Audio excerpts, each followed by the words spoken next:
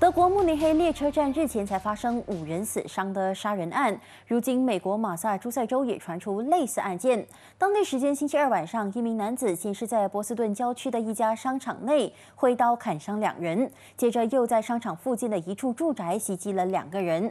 被砍的四名受害者中有两人因为伤势过重毙命，另外两人则没有生命危险。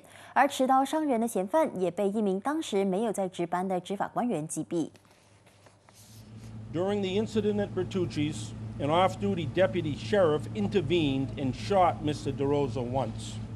Mr. DeRosa was rushed to Charlton Memorial Hospital where he was pronounced dead. 案发后，警方一度将商场内的所有人紧急疏散，并封锁了现场。至于嫌犯的身份和干案动机，目前都还不明朗。